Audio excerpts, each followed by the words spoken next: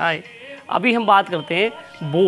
बो टाइज कैसी होती है? बो कितने प्रकार की होती है? कैसी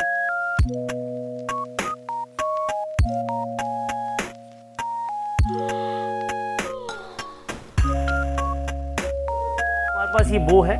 ये है नॉर्मल बो, जिसे हम सभी जानते हैं। ये नॉर्मल बो है। और इसके बाद जो बो हमारी आती है, वो ये इधर देखिए। ये डिज़ाइनर बो है। इसके अंदर हम फैब्रिक सूट के अंदर जो काम होता है, उससे रिलेटेड हम इसको डेवलप करते हैं, जिससे ये आपको सूट के अकॉर्डिंग हमारे पास अलग अलग डिज़ाइन के अंदर मिलती है। इसके बाद एक बो आती है, ये टॉम फोर्ड बो है। ये भी हमने सूट के अकॉर्डिंग ही डिज़ाइन करी हुई है। ये होता है, ये इसको कहते हैं बोटाई ये बोटाई होती है। इसको भी हम अपने हिसाब से डेवलप कर सकते हैं। किसी भी डिज़ाइन के अंदर हम इसको कन्वर्ट कर सकते हैं कुछ भी करवा के हम इसके अंदर कुछ भी काम करके इसको बना सकते हैं बढ़िया सा।